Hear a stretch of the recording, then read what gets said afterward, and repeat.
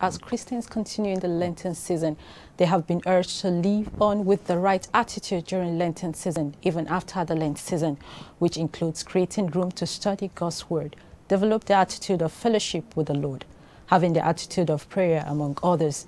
The Anglican Bishop of Kabba Diocese, the Right Reverend Stephen Akobe, made this known in an interview with ACNN News correspondent Nzabich Frank on what should be the right attitude of Christians.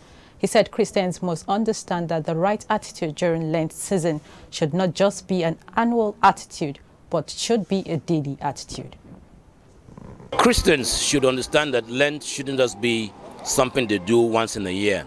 It's something we do every day. In other words, what should be the attitude? The attitude of one, hunger, thirst, and quest for the Word of God. In other words, we must create room to study God's Word and to apply the same to our lives.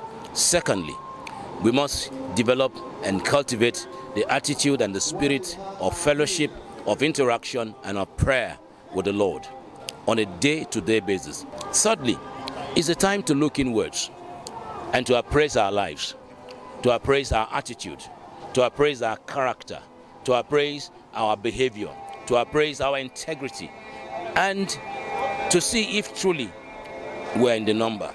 If truly our life is being shaped and fashioned and nurtured and formed in the image of Christ.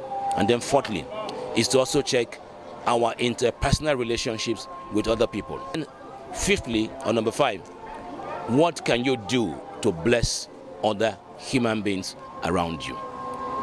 There are people in need, in need of love, in need of care, in need of food, in need of school fees, in need of money for rent, in need of so many things. What are you doing to support? So it's not. It must not just be all about you, you, you, me, myself, and I. No, but look outwards and see if there are others in need that you can touch. And so, the time of Lent is a time of sober reflection. It's a time to reappraise and reassess our life.